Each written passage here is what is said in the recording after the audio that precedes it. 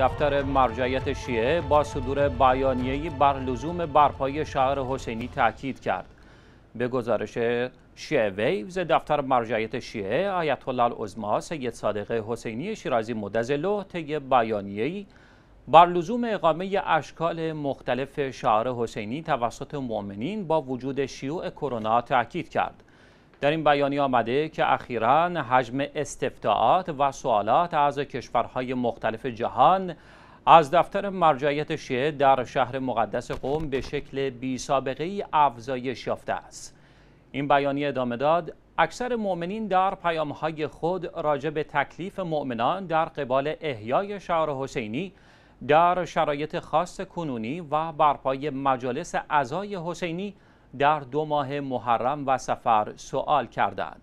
این بیانیه افزود جواب گروه پاسخ به مسائل شرعی دفتر معظم الله تأکید بر برپای شعار حسینی با در نظر گرفتن تمامی شرایط پیشگیرانه بوده است. همکنون نه تنها شیعیان و محبین اهل بیت علیهم السلام در نقاط مختلف جهان خود را برای عزاداری در ماهای محرم و سفر آماده می کنند بلکه موکبهای کربلایی نیز پس از چند ماه خود را برای اقامه عزا و پذیرایی از زائران آماده می کنند